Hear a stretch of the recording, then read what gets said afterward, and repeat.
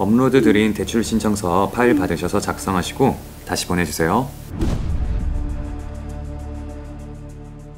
타은행 대출 상품을 이용하실 경우 위약금을 지불하셔야 해요. 예? 위약금이요?